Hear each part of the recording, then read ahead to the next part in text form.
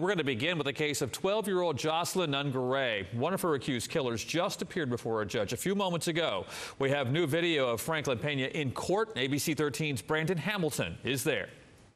Jocelyn Nungaray was found dead in a North Houston creek last Monday. 22-year-old Johan Jose Martinez Rangel and 26-year-old Franklin Jose Pena Ramos are charged with capital murder, accused of luring the girl and strangling her. We're told both were undocumented workers from Venezuela. The community has stood by Jocelyn's family, coming together for this vigil Friday night. Her mom telling us she is thankful for the support. She says the arrest was a sigh of relief. All these what ifs and a million questions were going through my mind and and you know talking with the chief of police about them being detained and you know expressing my concerns of them being released back into the public um, he had assured me that that was something I did not need to worry about that they were very positive that they were going to be caught for their actions and um, lo and behold, they were.